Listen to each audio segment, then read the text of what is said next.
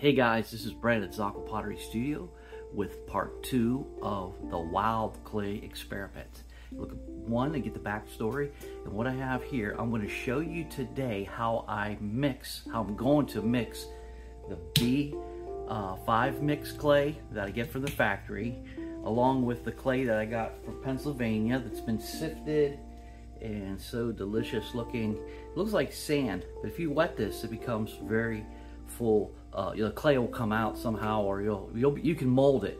But I let it dry out a little more. I'm going to use this mixing almost like a grog mixed into this B-Mix 5 which has next to no grog.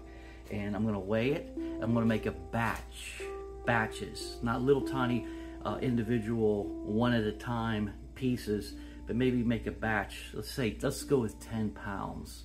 All right? Let me show you how I do it Okay, so here's what I'm gonna do. I'm gonna make small batches and experiment with it. And if I don't like the consistency or how it throws, I'll change up the formula. But so I'm gonna start off with this. I cut with my wire cutters, which is actually fishing line and two washers. And I cut off the factory um, B-Mix, B-Mix 5 that I got from this um, Baltimore Clay Works. And I'll put it on my scale. I'm gonna go with four pounds of this. I'm gonna stick it on my wedging table. And then I'm gonna add one pound of the Pennsylvania, we'll call it the Pennsylvania Wild Clay. I'm from Pennsylvania, by the way. Now living in Maryland. Okay, so you see down here in the scale, you can barely see, I have one pound. So now I'm gonna mix it all together on my wedging table and see what happens. Let's mix some clay.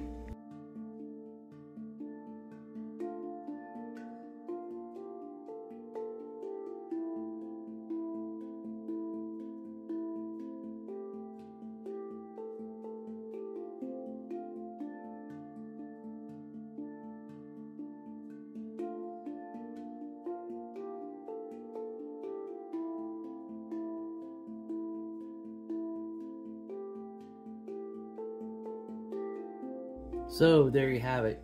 Hard to see on the video, but um, it's if you could feel it, there's no grog, no sand. Here you can feel very, very little. And I want to start with that uh, formula. And what I'll do next now, and you see there's a lot of wedging. Um, that's the most physical part of uh, pottery. You wedge your clay. That's why I have such big biceps, if you're wondering. Now you know. So what I'll do is I'll put it in a clay bag and clip it up and keep it from drying out. Clay dries so fast, it doesn't take much. And make, make some more batches and then throw in the next video. See how it holds up. All right, see you then.